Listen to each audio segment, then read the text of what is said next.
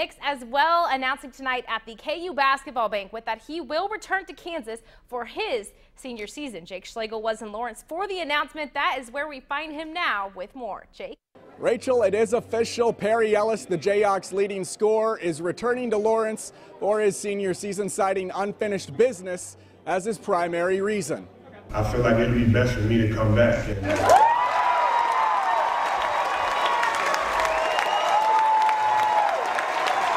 There's no way you can sign a better player uh, uh, than Perry as a senior, you know, coming in. So yeah, we felt all along that he would probably come back, but he, he did it right and he got information and and digested with his family and up front with everybody. So it's not a surprise to me at all. I can still improve. You know, I can still can improve my game and. Uh, and become even better. To no surprise, Ellis was named the Jayhawks Player of the Year, winning the Danny Manning Mr. Jayhawk award tonight. That was an easy call. You know, if, if you're up for a national senior award, I think, or national, uh, uh, uh, not senior award, I guess I said that, but a national award that, that combines uh, uh, academic and uh, athletic, then I think it was a pretty easy choice. I mean, it means a lot, you know, just knowing that all the people that came before me that got an award and, and just really just, just really gives big ups to my team, you know, and got it without them.